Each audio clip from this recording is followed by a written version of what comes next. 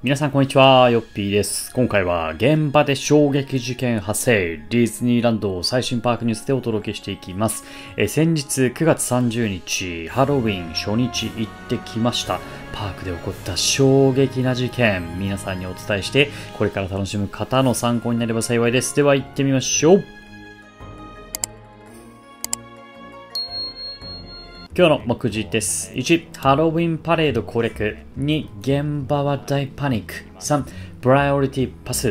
4、ハロウィンフード。5、ハロウィングッズ。以上5つで進めていきます。えー、どれもね、かなりびっくりな驚きのニュースばかりですので、ぜひ最後まで見ていって、これからね、ハロウィン楽しみたいよという方は、ぜひ最後まで見てね。では早速中身に入りましょう。1、ハロウィンパレード攻略。ということで、前回からのね、続きで皆さん見ていただけると嬉しいです。えー今回ですね、9月30日、ハロウィンパレードスニーク公演見に行きました。この日は10時だったので、朝からね、えー並んで、えー待っていたんですけれども、ちょうどですね、えー頑張ってね、ダッシュしてきて、えーハロウィンパレードのね、サードと呼ばれる一番最後の3つ目のエリアで待つことにしました。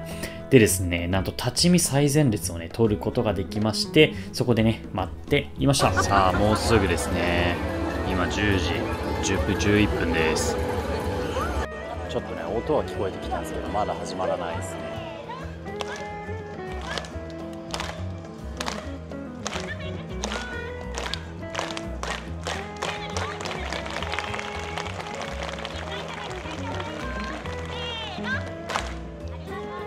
はい。という形でですね、えー盛り上がるための予行練習をしました。でそこから、まあ、今回ね、私はサードと呼ばれるところで見たので、えー今回ね、サードと呼ばれるエリアについての説明と、あとね、まあ、番号ごとにぜひ皆さんね、覚えておいていただきたいなと思っております。えー一番上が1番ですね。でこの1番っていうのがパレードで一番最初に来るフロートになります。で、2、3、4、5、6っていう順番にやってきますので、それをね、えっ、と、ぜひね、動画を見ながらね、1番、2番、3番、4番、5番、6番、何のフロート？で誰が乗ってるのか、それをね、ぜひ覚えていってほしいなと思います。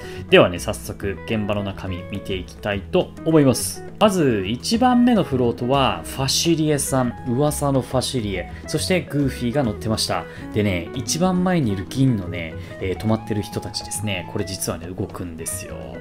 これはね、ちょっと正直びっくりしましたね。でちなみにファシリはマジでかっこよかった。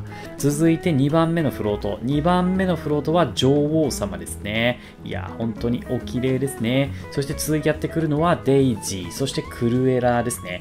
デイジーもいつも以上にセクシーでございました。大変可愛いですね。続いて3番目のフロート。これはね、フック船長、スミー、そしてガストン、ドナルド・ダックと結構ね、豪華なメンツがね、乗ってたというような形でございます。でね、このガストンの後ろにね、ガストンが大好きな踊り子たちもね、いまして、ここのね、わちゃわちゃ感を見るっていうのも非常にね、面白かったなと思います。次、4番目のフロートは、マレフィセントとジャファーとミッキーでございました。主役は4番目です。なので真ん中ら辺に来るという風に覚えておきましょう。はい、ミッキーですね。今回の衣装も本当にかっこいいですね。どこから見ても絵になります。手振ってくれてますね。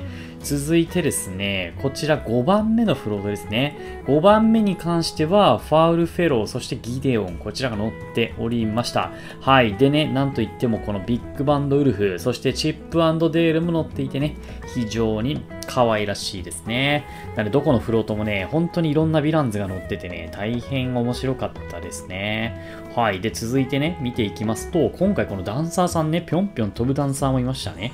はい。で、最後ね、6つ目なんですけれども、なんとミニーちゃんです。私がいたところはね、ミニーちゃん目の前だったんですよ。で、ミニーちゃんがね、もうね、間もなく、間もなく止まるのかなどうなのか、通り過ぎるのか、どうなのか、そこを見ていきましょう。で、上にはね、アースラがいます。はい、止まりました。目の前でした。来ました、ミニーさん。どうですか？もうね、可愛すぎやしませんでしょうか？この衣装。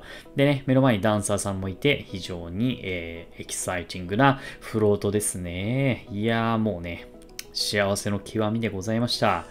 はい。で、今回のダンスなんですけれども、とにかくね、皆さんでノリノリでね、踊れるっていうダンスなんですよ。で、結構難しいんですけど、非常にね、ダンサンブルで大変楽しいダンスになってますので、ぜひね、皆さん覚えておいてください。はい。ということでね、改めて地図戻りましょうか。で、これね、見ていただくと6番ですね。なので、ちょうど、トゥモローランドテラス前がミニちゃんっていう風になりますので、覚えておきましょう。で、4つ目ね、4つ目のところは確か DPA のエリアだったと思います。ここがミッキーってことになりますね。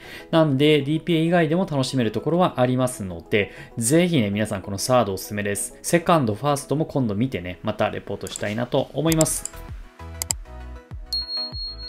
現場は大パニックでは見ていきましょう。はい。ということで、今回ですね、やっぱ驚いたのが、このファシリエがね、フリーでグリーティングできるっていうね、ことやっておりました。で、このファシリエさんですね、初登場ということで、もうめちゃくちゃ大人気でね、人が殺到しすぎちゃって、確かワールドバザールのグリーティングは速攻でキャンセル、終了になっちゃったっていう風に聞きました。なのでね、皆さんどんなに写真が撮りたくてもですね、近づきすぎないように、えー、しましょう。本当にね、事故になりかねないっていうのはあるので、えー、覚えておいていただきたいなと思います。でね、今回私がファシリさん見たのはね、ホーンテッドマンションですね。ホーンテッドマンションに現れたという風になります。このホーンテッドマンションの装飾といいね、このファシリエさんの衣装といいめちゃくちゃ合いますね。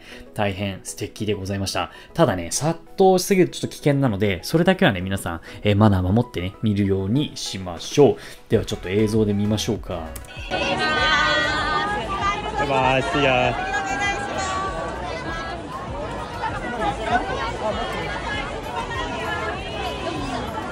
いやーもうね、本当にかっちょよかったですね。なんか歯がね、前歯真っ黒だったのがちょっと気になったんですけど、これはキャラクターってことなんですね。はい、早く映画見ろよってことですね。ということで、ぜひ皆さん、パレード楽しんでいきましょう3つ目、プライオリティパスについてご説明します。はい。で、こちらがね、プライオリティパスのなくなる時間目安です。結構ですね、最近早いんですけれども、こちらね、10月1日のデータ持ってきました。見ていきましょう。まずね、ビッグサンダーは14時10分。で、プーさんは13時40分。ホーンデッドマンションは13時55分。で、モンスターズインクは13時40分。で、バズは11時10分。で、スターツアーズは、えー、14時40分という風になっております。続いて9月30日見ましょう。ビッグサンダーが12時25分。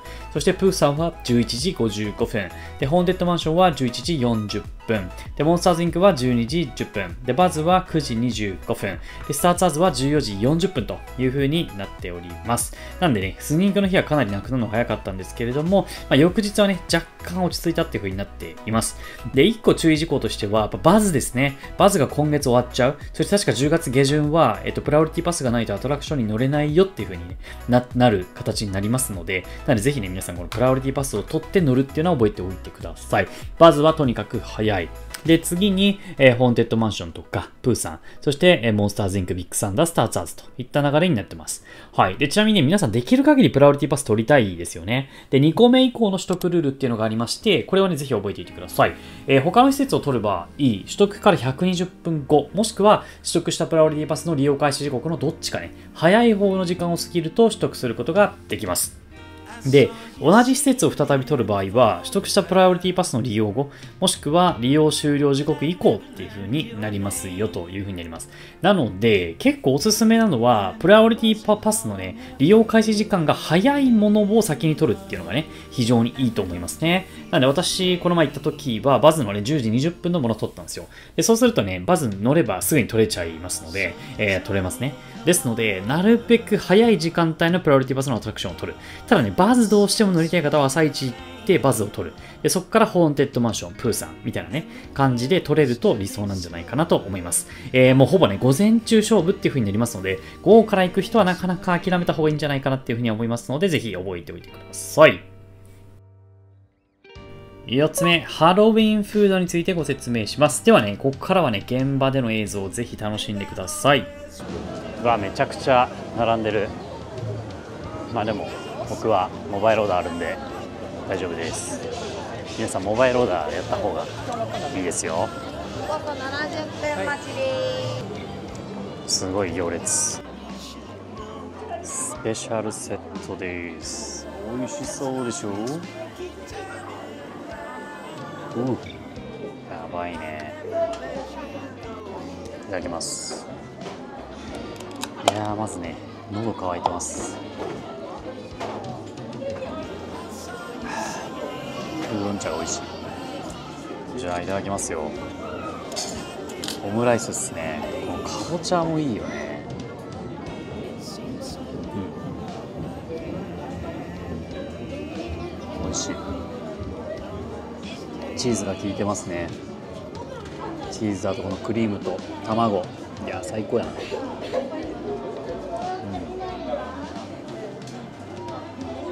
マッシュルームもいいですね。美味しい。いやうめえな。そしてかぼちゃ。かぼちゃ。見えない。うん。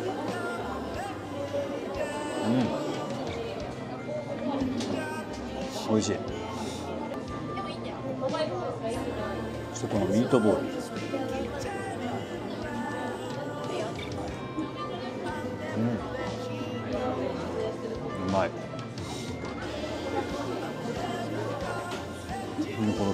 ソースがね非常に美味しいですね。ちょっと甘く。て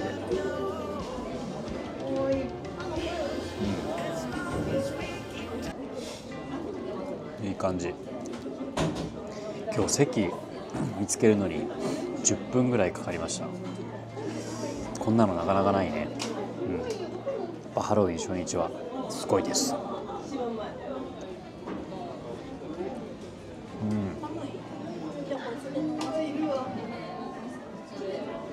かぼちゃ美味しい。めっちゃいい。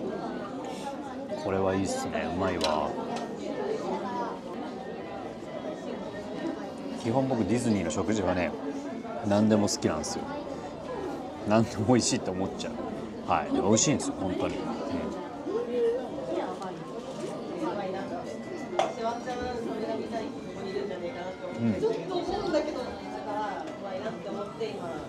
うん、もうちょっとねあえて言うなら卵の量をもう少し多くしてくれるとねいいかなとは思いますね。うん。ほい。うまいうまい。うん。あとなんかツナみたいなのも入ってますね美味しい。うん。いやいいっすね。今日朝6時ぐらいに起きてプロテインとバナナしか食べてなかったんですよね。でも朝おにぎり1個食べましたけどさすがにお腹空きましたね。もう3時間ぐらい立ったりして待ったりなんなりしてたんで、うん、本当に美味しいです。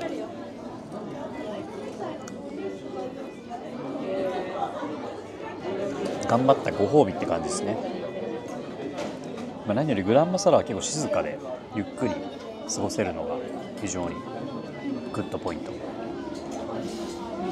でも今日かなり混んでてまあ11時過ぎに入るとねもう本当に30分ぐらい待っちゃうのでモバイルオーダーやっておくとね間違いないです、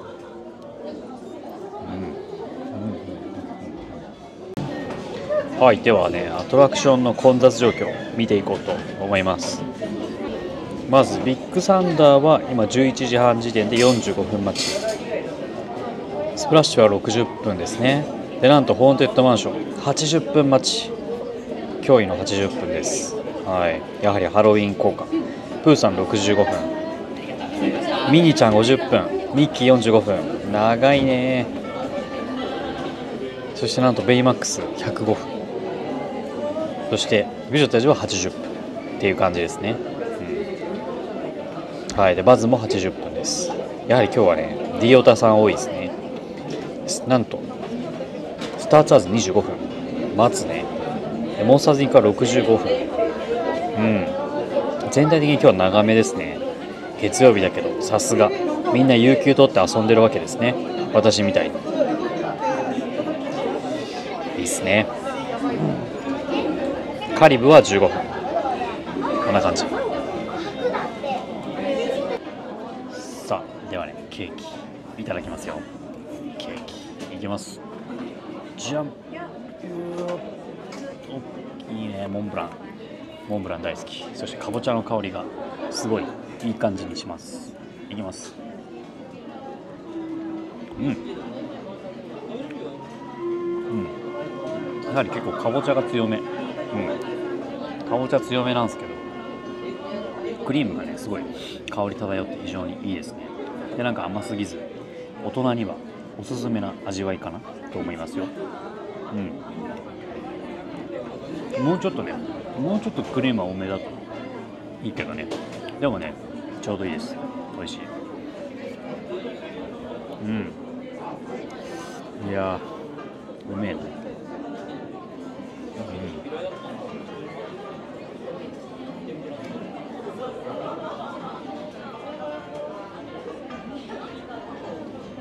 してこのかぼちゃのミッキーチョコレート。うん。これは甘いでも非常に美味しいです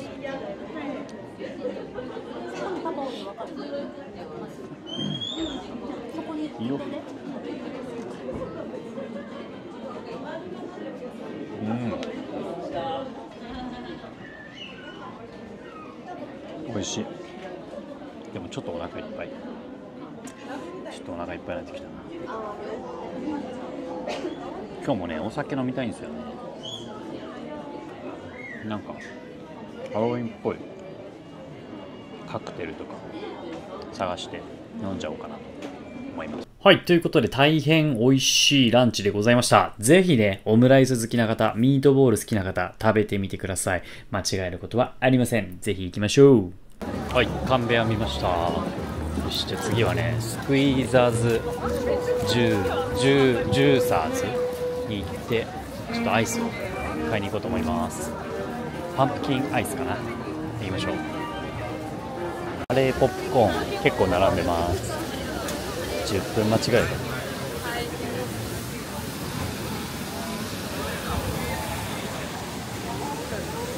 とはいアドベンチャーランドにやってきました。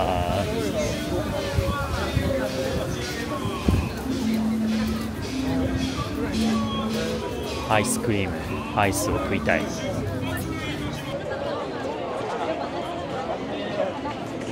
スクイーザーズ行きましょう。いや今ソフトクリーム並んでますけど多分30分待ちぐらい。今日はチャイナボイちゃんは一日中混んでますね。4時なんですけどめちゃくちゃ行列大行列。さあスクイーザーズトロピカルジュースバーにやってきました。もうすぐ注文。20分ぐらい待ちました。意外と早かったな。パンプキンソフト楽しみですねうん美味しそう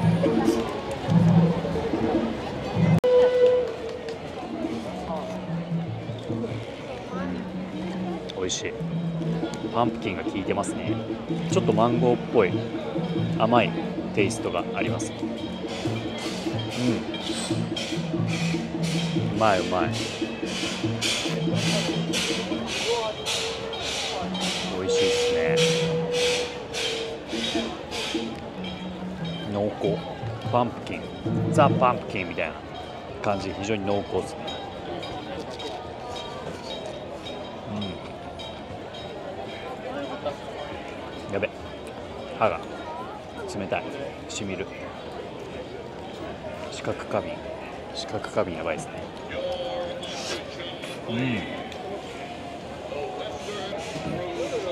っぱ暑い日にはぴったりですね。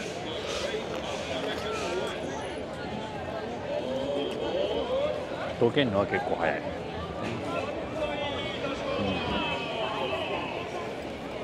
ん、美味しいです。やっぱミックスじゃなくてパンプキンだけで秋は楽しんだ方がいいと思いますうん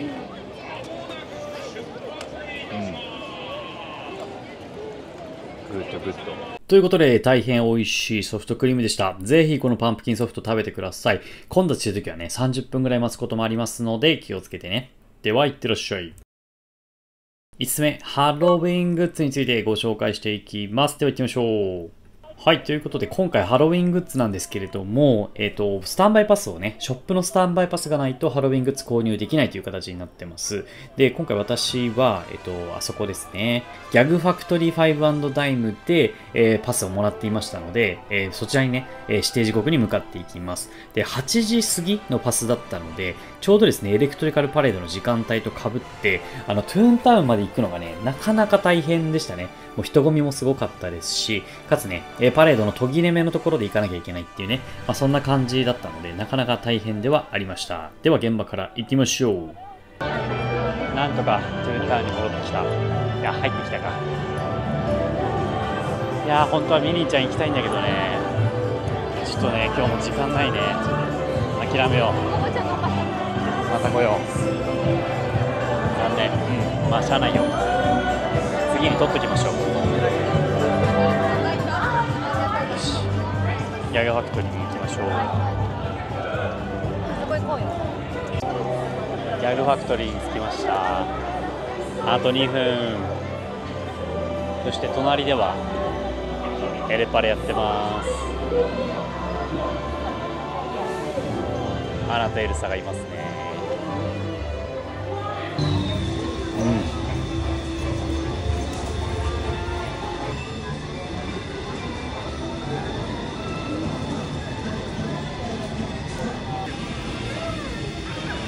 はい。で、今回購入したグッズがこんな感じです。えー、ミッキーとミニーのぬいぐるみバッジを買って、で、あとはね、えー、小さいね、ウォッシュタオル買いました。で、巾着もね、えー、購入しました。で、最後にね、こちら、マレフィセントのマグネットですね。あの、複数種類があって、当たったのがマレフィセントだったと。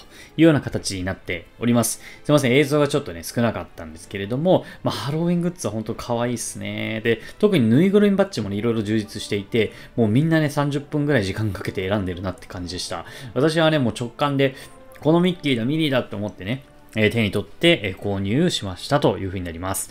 で、個人的にですね、これも可愛いなと思って今日買いました。ではちょっとまた映像に戻ります。あった、新しいやつ。かわいいなこのミッキーの新しい T シャツ可愛くないですか？